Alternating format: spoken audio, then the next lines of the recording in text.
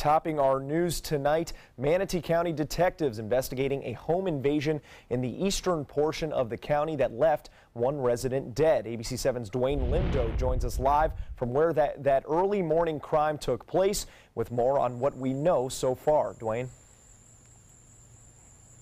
Well, Adam, it was 1 o'clock early this morning when deputies responded to a burglary in progress at the home about 50 yards behind me. The cause of death is not being released at this time, but they are calling it a homicide. Deputies say 54-year-old Dwayne Hutchinson was found dead in an upstairs bedroom. When law enforcement arrived on scene, they discovered another victim, Hutchinson's wife, who told them two males entered the home and confronted her. She was transported to a local hospital and later released with no injuries. One neighbor who was afraid to reveal her identity says she was shocked when she heard the incident took place and also says she didn't hear anything when it occurred.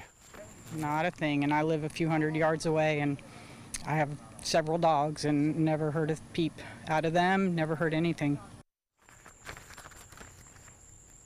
Now, the sheriff's office is still investigating the incident. We also spoke with a number of people nearby who said they couldn't see or hear any commotion when this took place.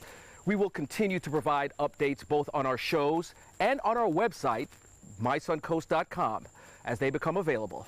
Reporting live in East Manatee County, Dwayne Lindo, your Suncoast News.